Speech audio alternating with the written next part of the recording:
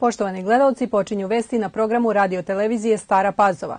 Vojvodina je prepoznata kao dobar model u brojnim oblastima društveno-političkog života s naglaskom na oblast zaštite manjinskih prava, gde reprezentuje ono što Evropska unija jeste. Istaknuto je na današnjem sastanku predsednika pokrajinske vlade Igora Mirovića i ambasadora Andreja Oracija, šefa misije OEPS-a u Srbiji.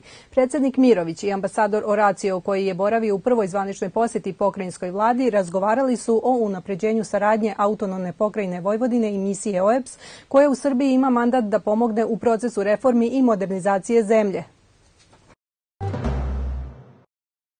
Predsednik Makedonije, Đorđe Ivanov, uručio je danas mandat za formiranje vlade lideru Socijaldemokratskog saveza Makedonije Zoranu Zajevu. Pre uručivanja u predsedničkoj rezidenciji Vila Vodno u kratkom obraćanju Ivanov i Zajev su istakli da su otklonjene sve prepreke za dodeljivanje mandata lideru parlamentarne većine.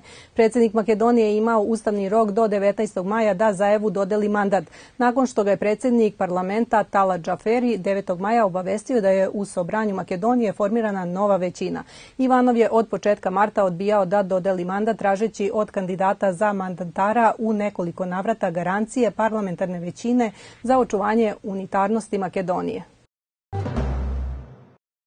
Nakon nedavno potpisanog ugovora o regresiranju troškova prevoza studenta sa teritorije opštine Stara Pazova na osnovu koga je lokalna samouprava obezbedila jedan deo od ukupno neophodnih sredstava na godišnjem nivou, danas je u cilju podrške mladima koji se školuju potpisan i ugovor o dodeli sredstava za prevoz učenika srednjih škola, čime je lokalna samouprava obezbedila dodatnih 7 miliona 118.854 dinara. Dobijena sredstva za navedenu namenu utvrđena su pokrajinskom skupštinskom odlukom o budžetu autonomne pokrajine pokrajine Vojvodine za ovu godinu i programom podrške u obrazovanju učenika i studenta.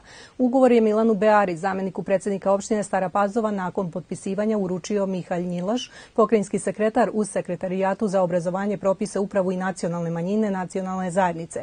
S obzirom da veliki broj srednjoškolaca, njih 1443 koji imaju prebivalište na teritoriji opštine Stara Pazova i koji su upisali neku od srednjih škola u ovoj školskoj godini, putuju do škola kako među mesnim, tako i među gradskim prevozom u Beograd i Zemun, opština Stara Pazova godinama unazad učestvuje u obezbeđivanju najvećeg dela troškova njihovog prevoza kako bi se omogućile značajne uštede za porodične kućne budžete građana.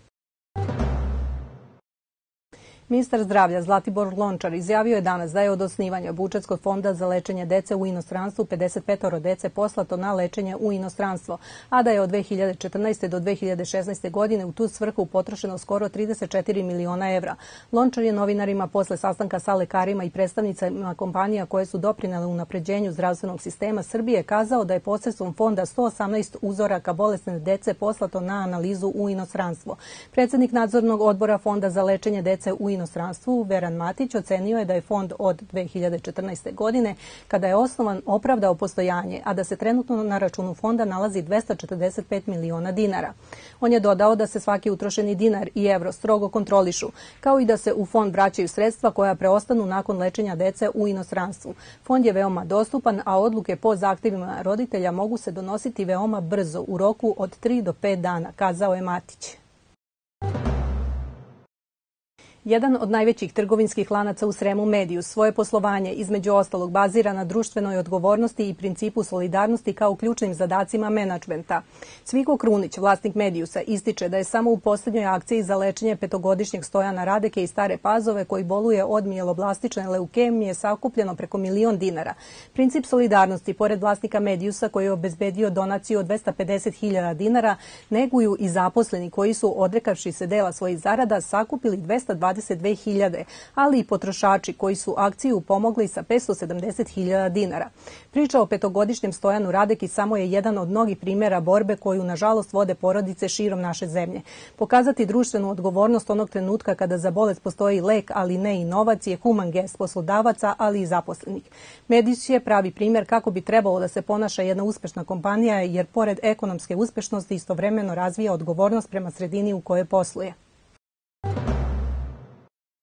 I ove godine država u saradnji sa Udruženjem inostranih proizvođača sredstava za zaštitu bilja u Srbiji SEKPA organizovano će u svim naseljima Staropazovačke opštine sakupljati ambalažni otpad.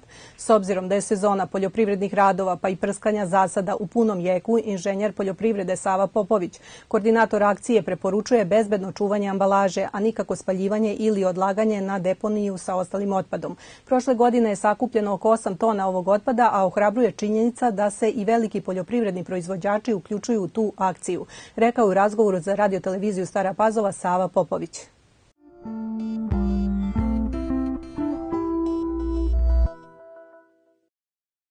Vreme će sutra biti sunčano bez padavina, vetar umerenog intenziteta, minimalna temperatura 12, a najviša dnevna 24 stepena Celzijusa. Bilo je ovo sve u vestima radiotelevizije Stara Pazova. Hvala vam na pažnji. Ostanite uz naš program.